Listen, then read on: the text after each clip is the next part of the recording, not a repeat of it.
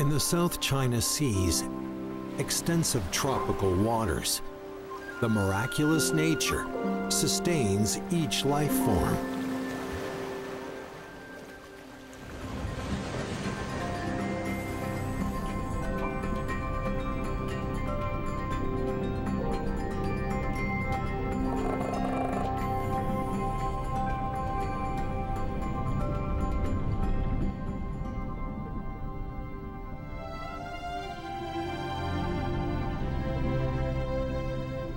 The sea lily is a common sight, known for its distinctive name and shape.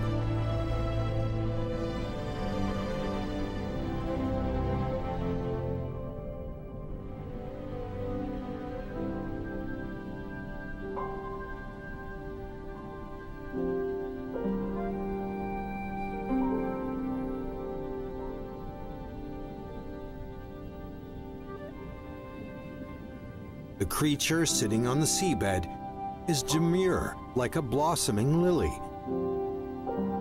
which gives it the name.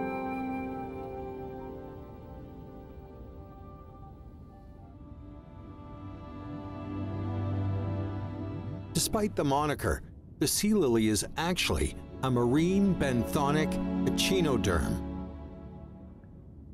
Using its cirri, it can attach itself to the rocks or yield to the force of ocean currents and drift along freely.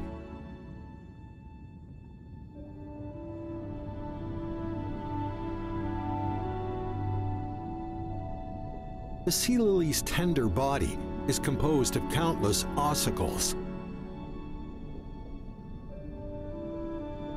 It can maintain remarkable flexibility and stand elegantly as well.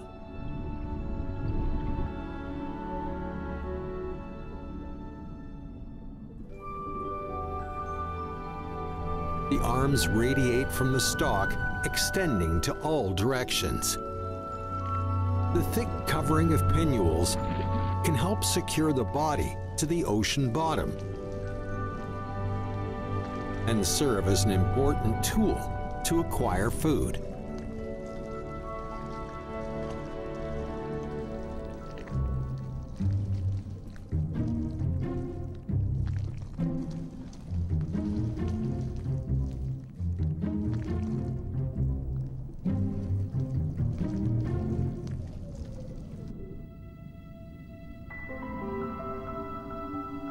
The radiating arms with pinnules on them form a web-like structure, capturing various plankton that float with currents.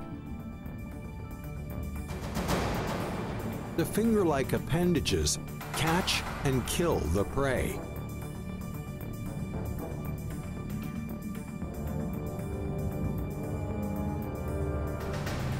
In the arms are ambulacral grooves. All the nutrients captured by the arms are sent along the grooves to the final destination. That is the sea lily's mouth.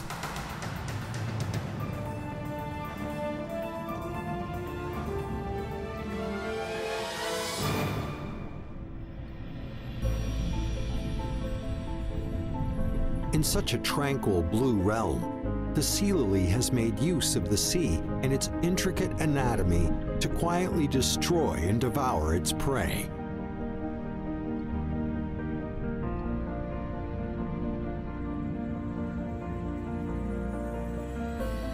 Once satiated, it will tuck in the pinnules to resemble a wilting flower.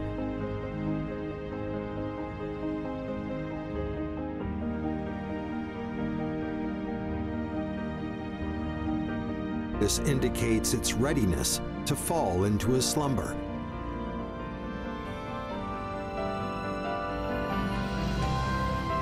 With all the vicissitudes on land, generations of sea lilies have multiplied at the seabed. As beautiful as its name, the sea lily endures and thrives.